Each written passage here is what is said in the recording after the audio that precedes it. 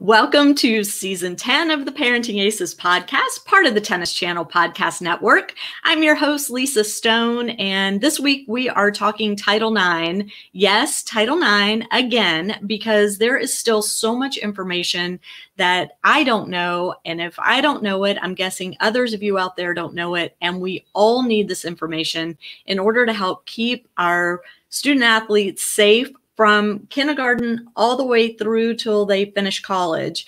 I am really happy that we are going to have the opportunity to talk with a Title IX expert this morning on the podcast. And I'll tell you more about her in just one second. But before I do that, just want to remind you that we do have a video version of the podcast for those of you listening on a podcast app. If you go to parentingaces.com or go to the Parenting Aces YouTube channel, you can put faces to voices. And also, our expert, Nancy Hogshead Makar, is going to be sharing some visuals today. And so I urge you to check out the video version of this episode as well. Also, wanted to remind you if you haven't already, we'd love for you to become a premium member of Parenting Aces. You can do that by going to parentingaces.com and clicking on the join button. And you have a couple different options. You can pay monthly, you can pay annually. If you're a coach, you have a discounted option there. And we'd love to have you as part of our community. All right, that said, let me tell you a little bit about today's guest, Nancy Hogshead Makar. Nancy is a former Olympic champion. She was an Olympic swimmer in the 1984 Olympics, where she won three gold medals and a silver medal. I think this is the first Olympic champion we've had on the podcast, so I, I'm pretty excited about that. Obviously, she comes from the world of youth sports, youth competition, and now as an attorney, and civil rights lawyer. She's also the founder and CEO of Champion Women, which is a nonprofit providing legal advocacy for girls and women in sports. But Nancy has lived this life. She understands what's involved in developing a junior athlete to the highest levels. And she is now an internationally recognized legal expert on sports issues She's testified in Congress numerous times on the topic of gender equity in athletics. She's written a bunch of articles. She's even written a book. And Sports Illustrated actually listed her as one of the most influential people in the history of Title IX. Very impressive. All that said, I hope you will join me in welcoming Nancy Hogshead Makar to the podcast. Nancy, thanks so much for joining us. Thank you for having me, Lisa. I appreciate it. Sure. I hope I didn't leave anything out. Your CV was a mile long. I just tried to pick out some highlights that I felt would help explain who you are and what you do to the Parenting Aces audience. Yeah, you got you got the most important thing that parents are going to want to know. So, yeah. So, I like many people thought that Title IX just had to do with college scholarships and making sure there were equal scholarship opportunities for girls and for boys. That's not even a little piece of what I mean, it's such a minuscule portion of the whole uh, encompassing law that is Title IX. What are some of the things that we as parents need to know about Title IX and why do we need to know them? Sure. Um, well, I'm going to talk about two aspects of Title IX that I hope parents are going to know. One is the issue of their athlete as a player and what the school is supposed to be giving their athlete, number one. And then number two is I'm going to talk about sexual harassment and abuse and um, how Title IX can protect your athlete and what you as a parent should know about abuse and things that you can do to um, to help your athlete. Fantastic. Okay. And and we had we had Kathy Redmond on the podcast a few weeks ago. Okay. And that was the first time that I understood that Title IX starts covering athletes or, or students as young as kindergarten. So Absolutely. yeah, this is something we need to understand not just for our college players, but for our kids as soon as they step foot into school. Yeah, yeah. But no, um, so Title IX requires that schools treat boys and girls, men and women, equally. Sports is a type of educational experience. So that's where it gets its strength in sports. Because mm-hmm. sports are sex segregated, because we say boys go here and girls go here, it actually makes the law really strong. Mm-hmm. So whatever school's doing for boys and men, and you're seeing right now with the NCAA women's basketball championship. Oh my gosh. Disparate treatment that they're getting. I mean, that is first class a no go. That is, um, I mean, actually, we're we're looking into whether or not the NCAA is liable under the theory that schools who are subject to Title IX have ceded authority over to the NCAA. So, but but just just think about the kinds of messages that this teaches young yeah. girls, and also teaches young boys.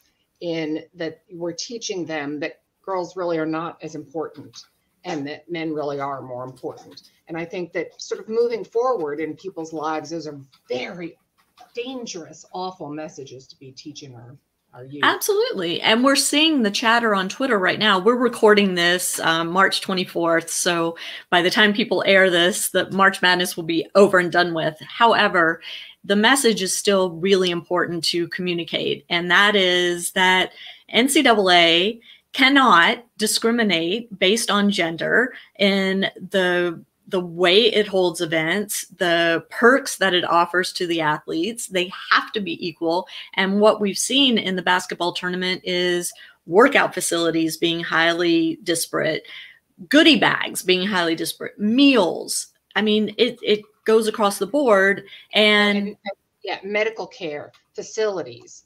Um, right? It's it's there's a I'm going to show you a slide in a second that talks about where where how do you measure mm-hmm. equality between men's and women's sports, and pretty much the NCAA is hitting all of them.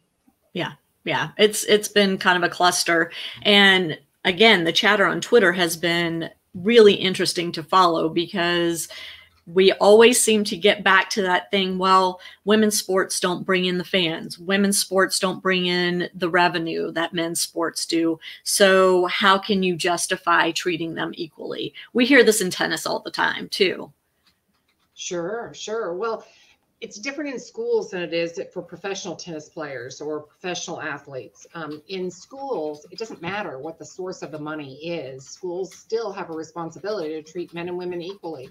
Yeah. It's um, it's so just a little bit of fun history now. Title IX is patterned after another statute, Title VI. Title VI bars discrimination based on race, color, national origin.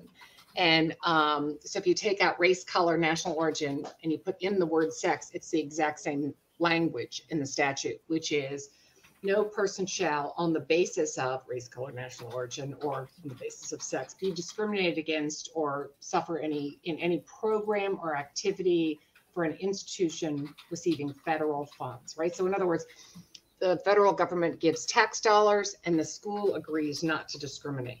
Not only tax dollars, but gives tax breaks. So even private yeah. schools and private universities, though they are privately funded, they still get a tax break, which puts them under the purview of Title VI no. and Title IX. No? No, I wish I wish it worked that way. Yeah. Oh, I thought that was true. No, typically schools get federal funds through student loan programs. Gotcha. Right. But a lot of particularly like uh I don't know, um, like high schools don't get any federal funds. Some do, like, you know, there's like a lot of Catholic schools that are on the free or reduced lunch program. As soon as they get any dollar from tax dollars, then they're subject to not just Title IX, but also Title VI, uh, the Rehabilitation Act. They can't discriminate against those with disabilities mm-hmm. and also um, age discrimination, right? So you've got those four statutes oh. that all if we give you money, but they you have to get money from. Okay, the, so it's not just a tax break. It's not just tax break. No. Got it. It's, okay. It's not even tax break at all. Like if somebody got tons and tons of tax breaks, but they didn't get a federal dollar. Um, but as I said, I mean, uh, in the whole country, I think there's like a handful of schools that don't accept, uh, don't get federal funds. It's Interesting. rare. Yeah, yeah. Okay, so school gets federal funds, they fall under the purview of these statutes, but what's happening? I mean, what's the reality out there? Yeah. So one of the things that Mark Emmert did when he became president of the NCAA is he stopped requiring that in order to be a member of the NCAA, they no longer had to show that they were moving towards gender equality. So, unfortunately, in Why? 1992, Judy Sweet and these amazing women did this fantastic project, and they showed just how bad the sex discrimination was. as a result of that, they required this process. They used to call it certification. And Mark Emmert just didn't like it. uh, so he said it was too expensive. And so they stopped doing it. So, my organization, Champion Women, as you said in your introduction, we provide legal advocacy for girls and women in sports. We have a, oh, thank you so much.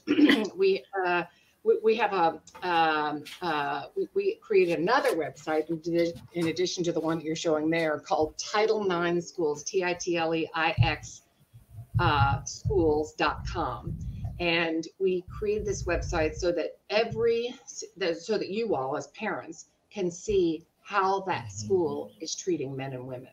And um, I'll give you some examples. UNC Chapel Hill needs to add 362 opportunities for women. It needs to add six and a half million dollars in college scholarship dollars. It needs to add several more million in how it's treating men and women. Um, so, you know, I could kind of keep going, but right. But so our website looks at, every, at 2,100 schools, including community colleges, NAIA, right? The whole mm-hmm. kit and caboodle. And, Let me ask a question though. If the school isn't in compliance with Title IX, what happens? Nothing. Who's doing anything about it? The only people that can really make something truly happen are current students. So that's what our organization is doing is all these lawsuits that you're seeing around the country. Mm-hmm is um, University of Iowa, Michigan State, William and Mary, um, Dartmouth, um, uh, Fresno State. Those are all because of us. So we figure out like who's upset about either a team being cut or sex inequities, and then we reach out and we create a community so that it's safe for the athlete to be able to ha- hire a lawyer and bring a legal action. And one of the things that we're doing is making sure that we don't just fix like the small problem that got them in the door in the first place, like at uh, Fresno State. What got them in the door was medical care. They were not getting the same medical care, not just COVID, but in lots of ways. They were getting total second class treatment. But then when I showed them, I was like, when you oh. say they, you mean the women's athletic teams versus the men's athletic teams. Right. The women's athletic teams were getting very poor medical care as compared with the men. Got it. Okay. Men were also getting bad medical care. Mm, you can't use Title IX as the way to fix that, but given the gender disparities, you can. So we, um, um, so we, when we showed them about, they had already decided they were going to cut the women's um, lacrosse team and all and scholarships and all these other things. We're like, you know, make sure you get all this stuff and so that's what they're doing. Is uh, same with all these other cases, right? They're not just getting things back to a status quo or just solving like the one little brick, right? It's you got to you got to remake the whole athletic department. So I think what's important as a takeaway from all this, if I'm understanding you correctly, Nancy, is nobody is holding schools accountable for complying with Title IX and in fact, the NCAA really has said, we don't care about the Title IX at all. You know, do what you want. Schools, you can still participate in our programs. We don't care if you're in compliance. There's nobody at the federal government level kind of, so, you know, watchdogging this. Yeah, there's the Office of Civil Rights, but um, they're just not not very effective.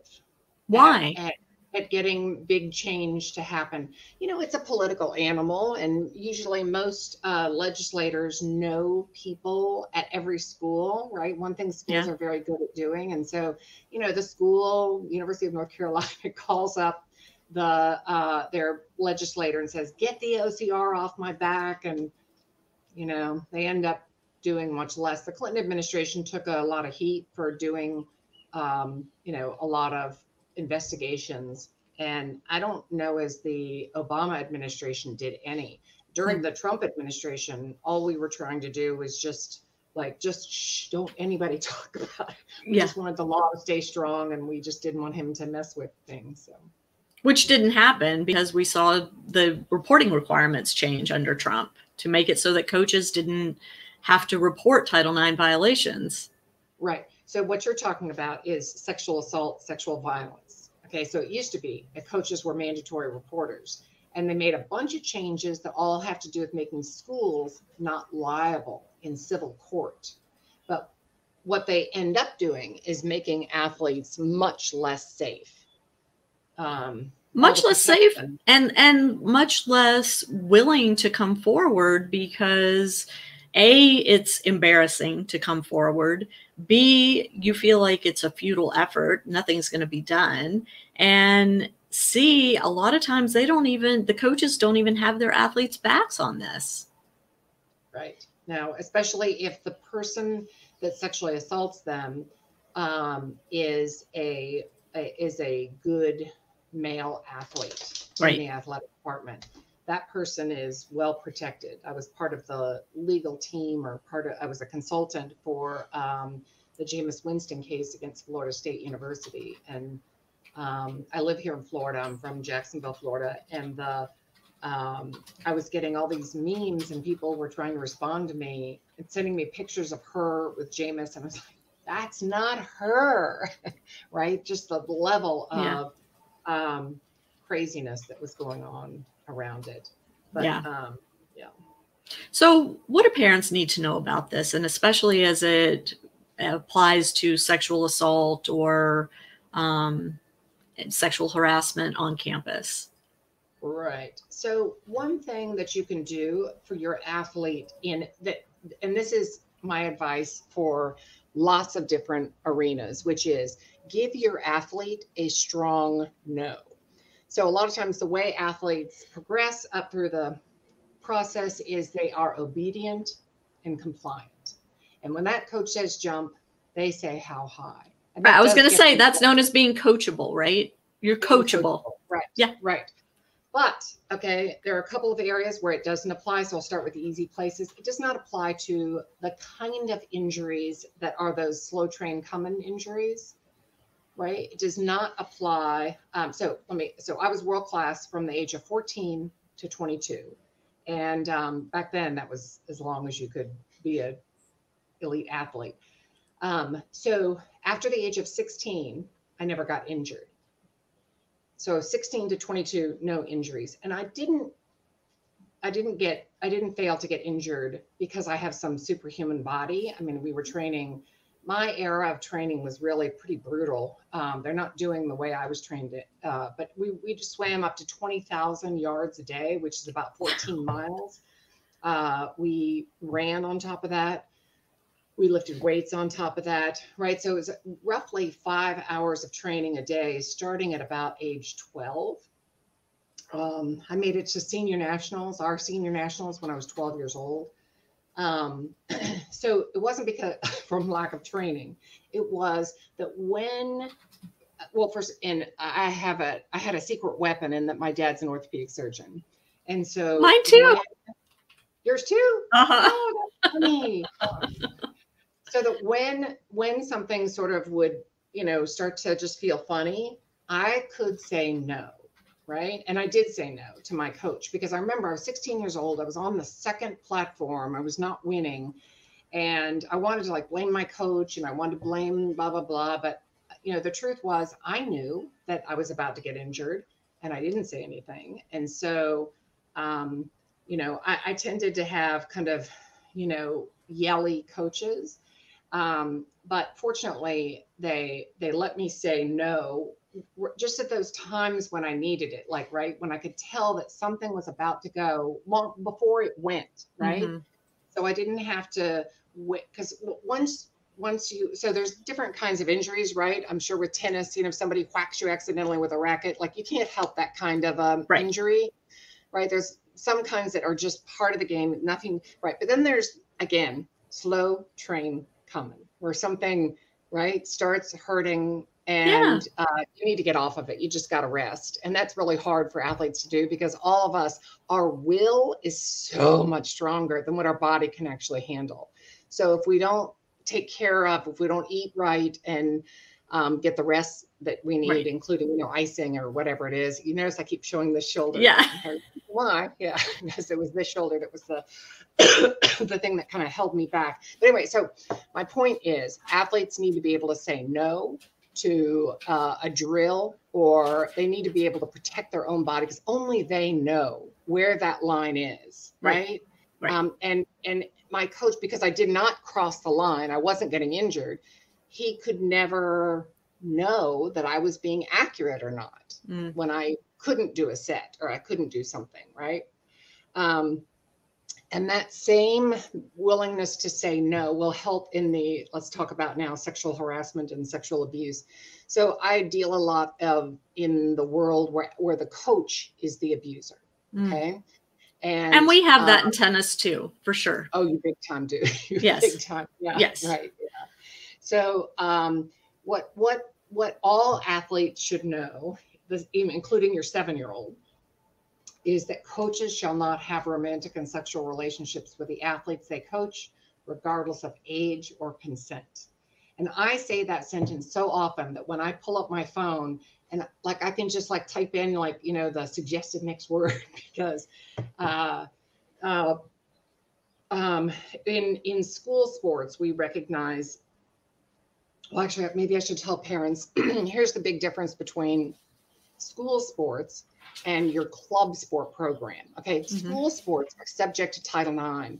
School sports have a general counsel position. They have insurance. They have a, um, a general counsel, a president, or a headmaster, or a um, they have a Title IX coordinator. That right the coach is part of an ecosystem, okay, that Mhm. recognizes power imbalances and we'll put up those bright line rules. Coaches shall not have romantic and sexual relationships with the athletes they coach, regardless of age or consent. Okay, over here in the club situation, the coach is often at the top of the pyramid and there's nobody checking on them. In those situations, is where you've got to make those really very clear lines for the Mm. athlete um, and allow them to be able to say no. And so then their boundaries. So, how can you tell a seven year old, a 10 year old, a 15 year old? Coaches should not be alone with their athletes. They can be away from everybody else and have a talking to with them, right? But they should be observable and interruptible at all times. Two is um, coaches should not be friends or social media with athletes. If they're going to text them, they need to uh, either text them with a parent on the text Mhm. or the rest of the team, right? If it's a if it's a team, uh, you know, communication. Hey, practice is going to start at five thirty, not five, right? Something like that. Right. Um, but no texting individually. Um, and then That's interesting. That's really interesting. And I would hazard a guess that most junior tennis coaches are not complying with that suggestion. Just from my own experience. Yeah, I, I don't think it should be a suggestion. I think it should be a very bright line rule. Right. Because that's how. But who's enforcing that? See, here's here's the Do it. issue, right? Nobody's enforcing it. Who holds the coaches accountable if the coach and the player are communicating without the parent being part of the chain or without the whole team being part of the chain or in the case of tennis maybe the whole academy being part of the chain? Who knows that besides the coach and the player? Yeah, that's that, that's why you. I mean, it's scary. Like so, so you want the hair on the back of the neck of the athlete to go up long before good touch, bad touch. Yeah. Because by the time it gets to touching, you're toast. It's it's a done deal. hmm um, the, the the number one symptom that parents tell me what how they knew their kid how they figured out their kid was being abused was not that the kid was morose or um, you know really moody it was the kid was happy that the the the, the coach had told them you're not like the other girls Mm. you're special. I love you. And they think it is an authentic relationship. They think it is true love. And they are conv- and they will fight for the, the guy. Yeah. We're talking this is, you know, 13, 14, 15 year olds. Um, so they they just they think like they're older, especially if they're a really good athlete, you know, Mhm. they're kind of told. I mean, I was number one in the world at age 14. If you had tried to tell me that I was a 14 year old or that I was not just the same as my 18 year old or 20 year old uh, peers, I would have said you're crazy. I was training with them, I was traveling with them, I was Um, uh, eh, but but um, and and that's why the rule that I say coaches should not have romantic and sexual relationships with the athletes they coach, regardless of age, regardless of whether or not there's consent. Mm-hmm. Right? That there's just a very bright line rule. Um, uh, uh, athletes should also know that a coach will never make you try to work out or compete on a serious injury. This yeah. is one of the ways that the gymnasts in the Larry Nassar case were primed to be abused. They weren't allowed to say no. Co- if a coach is yelling, screaming, and throwing equipment, that is out of bounds. Mm-hmm. And they will kind of groom the whole athletic community to think that that's okay. And it is not. So, um, so who enforces those things? Um, I mean, we got two pieces. My organization, Champion Women, two pieces of major legislation passed through Congress. Um, the, fir- the first one makes uh, people within the Olympic movement. So, if you're a member of USTA, makes them a mandatory reporter. They have to report uh, to both police and to the U.S. Center for Safe Sport. Um, I bet a lot of your listeners out there don't even know that there is this organization called the U.S. Center for Safe Sport. Well, they but better if they've ever been on parentingaces.com because we oh, have okay. we have on our sidebar a place to click where you can type in your child's coach's name and see if they've ever been investigated or yeah, yeah. I, I'm I'm I'm a big proponent of knowing who's coaching your child, especially in an individual sport like tennis, like swimming, where your child is often the only one on the court or, you know, in a meeting with a coach. Yeah. They need to be observable and interruptible, right? You cannot, you know, and and I mean it's it's for everybody's protection. It's for the protection Absolutely. Well. Yeah. Um anyway, so if you go onto our website, championwomen.org, the first thing that you'll see is we've got a one pager there that I, I hope everybody, um, uh, you know, distributes to all the members of your teams and uh, to other parents and to coaches. And the way that we phrase it is we make it okay for the coach to uphold these rules. And what, what the way we phrase it is we say, a good coach, an ethical coach will never try to be alone with you right? So the mm-hmm. good guy, and let it be right, a, a good ethical coach will never give you a gift. No matter how well yeah. you perform, no matter what wonderful thing that you did, no matter it's your birthday, they will not give you a gift. Um, uh, and so if a coach, if particularly younger coaches can teach those ethical rules to athletes, you're protecting them, you're setting them up for protection for the rest of their lives. Yeah, I, that's really an important message, right? Is these lessons that our athletes are learning as seven, eight, nine, 10 year olds are going to carry through once they are on a college team and maybe, hopefully not, but maybe find themselves in a situation where the coach isn't ethical, where the coach is stepping over those lines and doing things that are inappropriate and putting the athlete and the program as a whole at risk. So, yeah. the, the, the Mac Daddy problem is coaches, male coaches, mostly on female athletes, also on male athletes, but some mostly female athletes. That's that's like the the the you know the, the major problem is male coaches. But 20% of the complaints are peer complaints. They're kind of like mm-hmm. what you would see at a college situation um, the sexual violence that you would see on colleges. And in those situations, safe sport still applies. Okay. So it's mm-hmm. not just coaches, it also applies to athletes. And, um, uh, and, um, and certainly, uh, you know, non-consensual sex deal, which which is rape. There's there's no difference between yeah rape and consensual sex, but that uh, also applies um, uh, to say a Title IX investigator or Title IX um, process. Now, you said, Nancy, that most cases are male coaches against female athletes, in some cases, male athletes.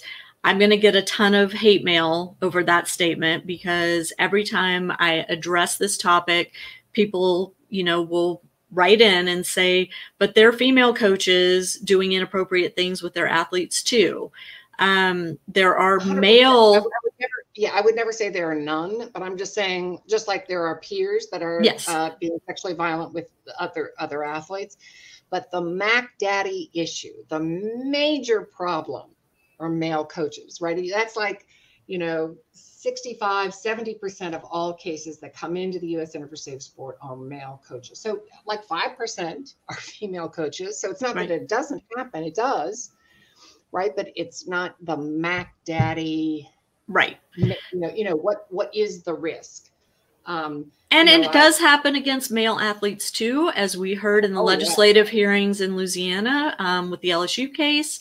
It's Right. not just the females that are that are being harassed and assaulted; it's also the males. But Right. overwhelmingly, the largest number involve females. right. Now the what what I like to say is, you know, definitely not every coach is a pedophile. And I had some phenomenal coaches that would not even I mean, would there's you know, young 15 year old girls have complete safety around them. But every pedophile wants to be a coach Hmm. because you have access to kids and Hmm. you have authority over them and you can make them do amazing things. And um, What a horrible thought! It is. Right, right. And so, so that's why it's important that we can't allow sport to be the vehicle where a kid gets abused. Right. um, and and for parents to know that parents typically understandably naturally would expect that their kid would be as protected in a club program as they are in a school. And that's not true at all Interesting. So, club meaning even in youth sports prior to college, if Correct. they're just participating in a neighborhood league or a travel league that's not affiliated with the school, Title IX does not apply. What about in college club? A lot of colleges have club tennis leagues. yeah Would no, they I'm be not- I'm- protected I'm there? not, not talking about those because Okay. that's usually part of the university ecosystem Got it. right where all of the the protective i'm not saying it doesn't happen but i'm just saying you're part of a a system that recognizes the the power imbalance right? Because they've got employees and employers all over the place. When i think of the some of the swim teams i was on that had a thousand swimmers and um you know the what what protections were there? Zero. My so i had phenomenal coaches. I mean i really sort of lucked out. My very first coach ever was eddie reese who is now the head coach at university of texas and he's been there for probably 35 years or maybe even longer. Um, but you know i was just a kid and i r- totally lucked out. My next coach was his brother randy reese who's the one who said you're going to be great so i really really don't get me wrong had some great coaches my last coach was this guy mitch ivey who was molesting my teammate at the time and i i thought it was like you know How old you were y'all? I was 22, she was 16. Yeah. But I because she's six feet tall and I I I didn't get it that it was mo- molestation because it did look like consent. It did look like they were boyfriend girlfriend. He was 33, she's 16, and I got it was creepy and weird, but you know, I just sort of um, it wasn't till as I got older and became a lawyer that I realized just how awful this was. Um, at one point, I mean, usually when somebody is having sex with a 16 year old, that's not the only way that they're being inappropriate. So this guy. Mitch Ivey, um, he tried to use me to make her jealous. And so really after a few months, like I had to kind of like just get my mojo from my teammates and not Mhm. from my coach. Um, had I known it was going to be as big a deal it was as it was, I probably would have left. But you know, I didn't really have any money. It was a little difficult. But uh, But so the question becomes where were her parents in all of this? Because, you Yeah, know, no, we no, as parents, we like to think that we're going to pick up on these things. Of course, we're going to know if something like this is happening to our child. Of Oh. course, we're going to have the influence to get them away from that situation. And the reality, sadly, is a lot of times that's not true. yeah, she told her parents that um, if you try to stop this, I will leave you. I will run away from home. And she wasn't getting any like today. you know, there there would have been a lot of support. Like, you know, they would have you would I would have as an as an adult swimmer would have had to report to the U.S. Center for Safe mm. Sport. Mm. Right. Um, I would have been a mandatory reporter. All the other parents would have been mandatory reporters. Um, Mitch Ivey's banned for life. Um, um, but back then, again, this the way that we normalized, uh, the way that there were so many marriages between coaches and athletes that it made you think that a romance was okay, yeah. right? Well, maybe the age is a little young, but right, we didn't recognize this power differential and um, you know, coaches were essentially just going from athlete to athlete, picking their romantic, their sexual partners really from within the athletes that they coach. Um, wow. So that's my that's the news that I can share with parents out there is that's one way that you can inoculate your child is to let them know what the bright line rule is, let them be able to say no, and um, say no to lots of things, not just section not just when somebody tries to touch them right? But when they can hear that things are going on down the path of you're special right? We have a whole and uh, you get brainwashed. I mean listen uh, you know as a grooming. It's right. grooming. Yeah of course sure. and i think it's important that that parents hear this again and and start to understand how premeditated a lot of this is. I mean, this doesn't happen by accident, right? This is a planned process. And I don't care how mature your kid is, I don't care how bright they are academically, how much life experience they have.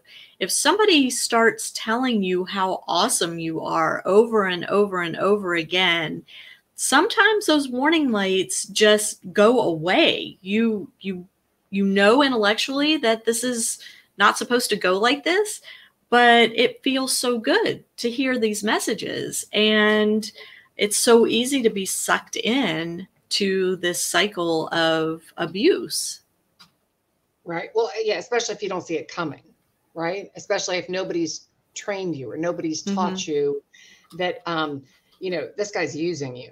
Right this is nonsense. You know, you're but, special. Okay, but but then they hear that as that other person's jealous because they're getting the attention, right?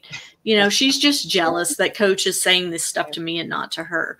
Um, and that's typical teen behavior. I mean, right, right, right. And, you know, and that's why the whole team needs to reinforce this idea that you can't pick your romantic partner from within the athletes that you coach. This is a this is a bright line rule and if everybody's enforcing it if everybody knows it um, if everybody knows that it's abuse and they see this person trying to yank them away from from other people um, you know that that that that that's how we can protect athletes. Um, th- th- there's actually research from the international olympic committee showing that the more elite the athlete the more likely they are to be abused from someone within their own entourage Mm. Right. So actually being elite is a risk factor. Right. Interesting. And part, yeah. of, part of what makes it makes uh, elite be a risk factor is that um, there is the, at least I did, I'm quite sure your, your kids, uh, the athletes do too, is there's this experience of giftedness when you are a really good athlete and you there's this feeling of beauty and strength and competence and right it's like you're when you tap into flow mm-hmm. that um and you're special. uh, yeah right that will keep an athlete coming back for you know what do i have to do to be mm-hmm. able to get that experience of flow? Um so we want them to have flow. We want them to experience flow but we also want them to be safe. Yeah absolutely. So if a, a student athlete suspects that a behavior is crossing that line, um, and that line is very clear, what's their recourse? What what should they do to keep things from progressing even further? Yeah, great question. So if everybody knows where the boundaries are, so she needs to be able to report to a parent or to somebody who's in power besides the coach who uh, who say you know they're trying to be alone with me they're texting me they're calling me they're uh, trying to friend me on social media they're right? So if everybody knows what those rules are then they can head it off at the pass they can head it off right then and not wait until it gets till it's till the kid's already been abused till you're already at bad touch Mm-hmm. And if it's inside a school program, then right. you report to the Title IX officer for your school.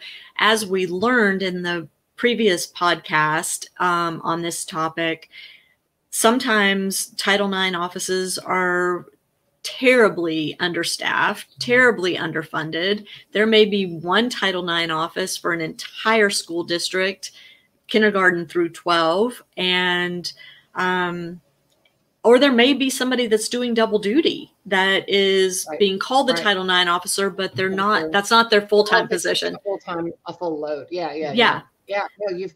But yeah, I mean, in that case, you just got to make some noise because if a school, I'm sure Catherine Redmond, she's very good at this. Uh, as she describes, if a school remains what's called deliberately indifferent, if they don't do anything about a report of sexual violence, um, then and and th- then then they're on the hook, right? Then they can be sued. By whom?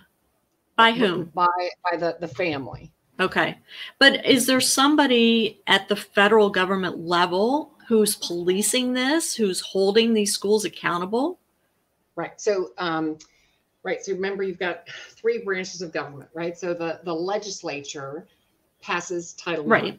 Okay? And then two is the executive branch. Now, President Biden, under there is the Department of Education. In the Department of Education is an office called the Office of Civil Rights. So before I was talking about four statutes that are all governed by them.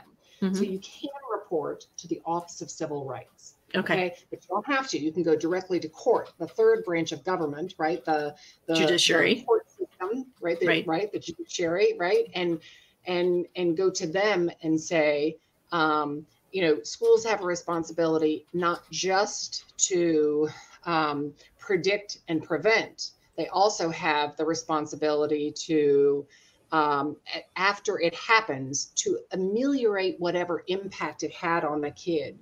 Um, so to make sure that that sexual violence doesn't interfere with their education. Um, so um, when I was in college, my sophomore year in college, I was out running. Duke has two campuses, East and West, and I was raped when I was out for a run in between those two campuses. Oh my gosh. And, yeah, yeah, yeah. And um, Duke University bent over backwards for me, and they let me drop two classes. They, um, I, I got into two car accidents right in a row, and so I just went after the second one. I just went straight to the airport and went home. And um, so I didn't take those finals for those other two classes until much later. They moved me on to Maine West. So I wasn't, I didn't have to walk through woods to get to classes and to the library, et cetera.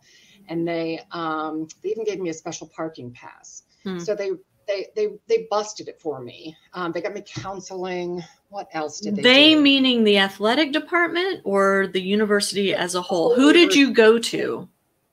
So the dean of students at okay. Duke, and she's actually still there. Her name is Sue Wasiolek. And um, so because of her, and honest, and so I got redshirted. So I got my full scholarship. I did not have to swim at all. Um, my coach at what after nine months, right? It's time to start swimming back again. Right. And he says, Nancy, if you want to keep your scholarship, all you have to do is just show up at the meets. And I thought like, oh, I'll get 10 grand a year and oh, I have, I don't, doesn't matter if I don't win. Well, you know, that's just not really how I'm made up. Yeah. So, yeah. So I, I started like swimming just a little bit and, you know, a little bit more, a little bit more. And then I ended up um, taking off uh, uh, three semesters just to train for the 1984 Olympics. Um, but again, when I think of like what accommodations that the school gave me, that this is 1981. Mm-hmm. So this is long before what people were think what schools had to do, but this is what a school would do if they just cared about me. You know, I was very lucky and my rapist had no power. So he was not a good athlete. was not a professor, was not right. There was nobody on. The But he was side. a student. He was a student at the I university. I don't think he was a student. They okay. found him. Okay. Um, he was he was he was beaten up too. Hmm. It was two and a half hours. And so he was beaten up too. So we think he probably had to leave campus. But the, the police department were so nice to me. The feminists who came before me really made it possible for, you know, if I had was raped the exact same situation, but I was in Africa or a lot of places in South America, I would have had to marry that guy. Mm-hmm. I would have been, it would have been terribly shameful for my family. Right. So I'm, I mean, I so people kind of want to tell the story of like, yeah, Nancy, you know, uh, she got raped, and two and a half years later, she won gold medals in the Olympics. And I don't want that story. Like, that's not the story. The story yeah. is, you know, somebody was. I, I I cannot over exaggerate just how bad my PTSD was. Um, and just how fragile and how easily I could have gone off the reservation and not finished school and um, not gotten back into swimming. But because people had empathy for me, it also sort of enlarged my ability to be empathetic towards other people. People are not empathetic towards parents of kids who are sexually abused. People are not empathetic towards uh, really 15 year olds who, um, anyway, so it sort of expanded my ability to, you know, just we're all these the, human frailties that we have and how we really need this community of support in order to be outstanding.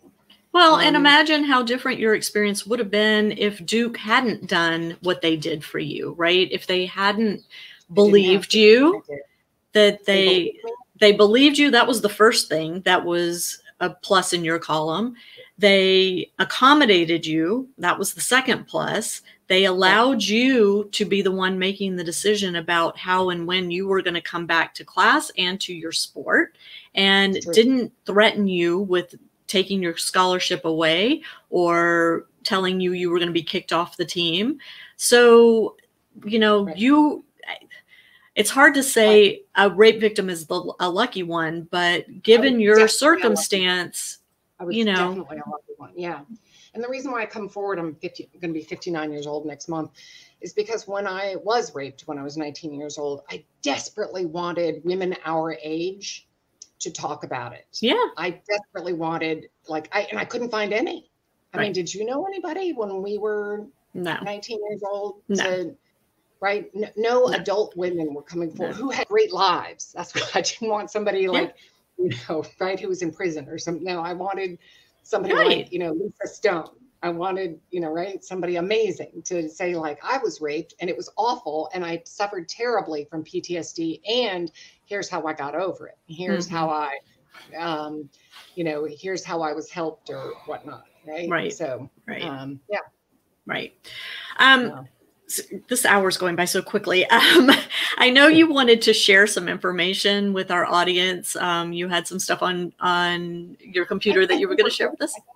I think we got everything that we needed to get out of this. If okay. people would go on to Title IX Schools, T I T L E I X, like Roman numerals, schools.com. Schools with an S? Schools, yeah, with an S. Okay. Title IX Schools with an S okay. um, .com, and they can see how every school that they're being recruited, how they treat women. Because you better believe if they're discriminating against women in the athletic department, that their Title IX coordinator is also going to be doing a terrible job. That mm-hmm. when it comes to if they got pregnant, if they wanted to be hired, um, right? Rarely does somebody sex discriminate in one slice of way, right? It usually in in lots of different ways. Right. So yeah, if um so I recommend that people go on to that website prior to and then all these all these particularly parents um, who have athletes who are at a school um, if they check see what's happening at their school remember their kid could be the one to make the difference so yeah. what we ask for is we need to get a community so we need to get the kids I mean, the kids, the 18 to 22 year olds, the parents, the boosters, the alumni, all on one Zoom call, usually like in the, you know, a, you know, a hundred people. and then uh, we kind of walk them through what it looks like to restructure their athletic department.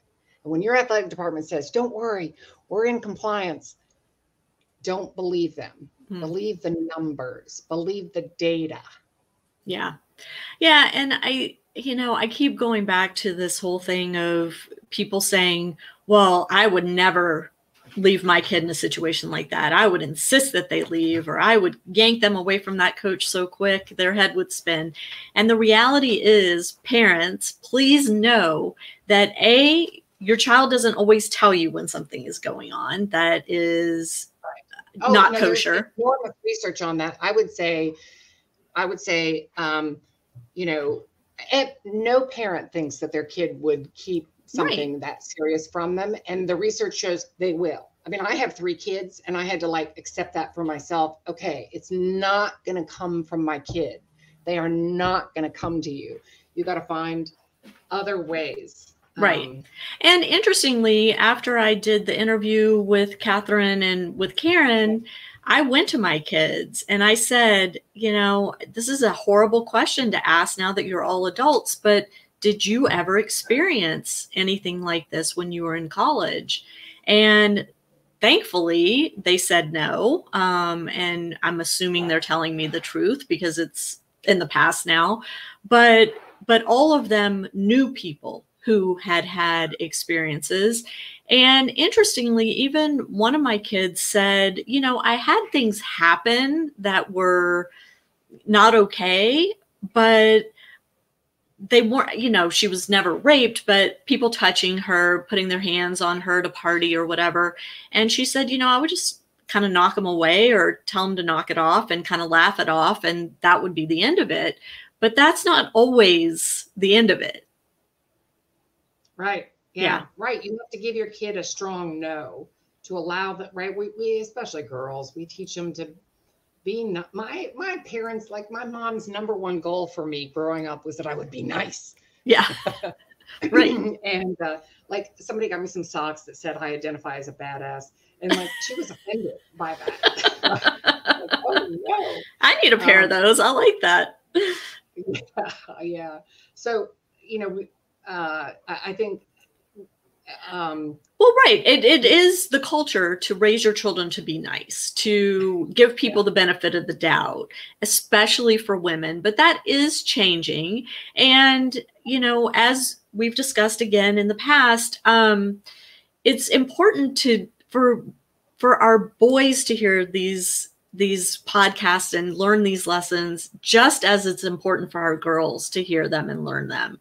We have to mm-hmm. raise sons who respect women, who aren't going to put any woman, any female into a compromising situation, who, you know, are going to stand up if they see someone else doing that to a female or a male, anybody we we want to raise children who stand up for what's right and who are going to come to the defense of somebody in a scary or precarious situation. And that uh, that pertains to our sons and our daughters. Yeah there's a really great organization i recommend called the one love foundation. And i think it's like the twitter handles join one love O N E L O V E, and they um, they talk about how to have healthy relationships. My son, who's now 20 and he's a sophomore at Duke, is he was he was a facilitator for the Join One Love, and um, they they they go through they show a video uh, and they show it getting progressively more and more controlling and dangerous. Um, Yeardley Love was killed by her boyfriend, and all everybody around her saw all the signs, but they didn't realize what they were seeing. And um, so, I anybody who's interested in like how do we teach both boys and girls about what how to recognize the warning signs of of uh, unhealthy relationships that really mm-hmm. can escalate. I think the name of the video that they show uh, the students is called Escalation. Interesting. Uh, well, we'll have a yeah. We'll have I, all I, those I links. Son, yeah. I tell my son, like, what you're looking for, honey, is you want enthusiastic consent. Like, yay, let's go. we will have all of these links in the show notes on parentingaces.com. So make sure that you click and, and check them out and check out these organizations. If you want to get more information, you can always follow Nancy on Twitter at Hogshead3AU. That is her Twitter handle. Um, she is very active on Twitter. That's how she and I connected. Um, it was kind of as a result of everything that's going on at LSU with some of the female tennis players at LSU. And um, so I encourage you to follow Nancy on Twitter. Nancy, it's been a pleasure. I it's been educational. This is continues to be a, a topic that gets me kind of in my here you know it's just it's yeah. so painful to talk about but it's so important and parents we are the first line of defense for our kids we have to have the information then we have to pass it along to our kids and ensure that they're utilizing the information properly. And then we have to be the watchdogs. We have to, as our kids start in sports and progress through, we have to make sure that we're keeping an eye on things, that we're checking out our kids' coaches, that we know who they're traveling with. When they're old enough to go to tournaments with a coach without the parents, we have to have some precautions in place in order for our kids to stay safe and for us to know what's going on at all times.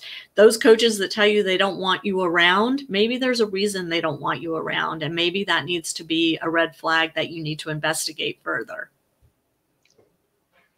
Yeah. All right, Nancy, thank you so much for doing this. I appreciate your time to my listeners, as always, thank you so much for tuning in. We will catch you next time on Parenting Aces.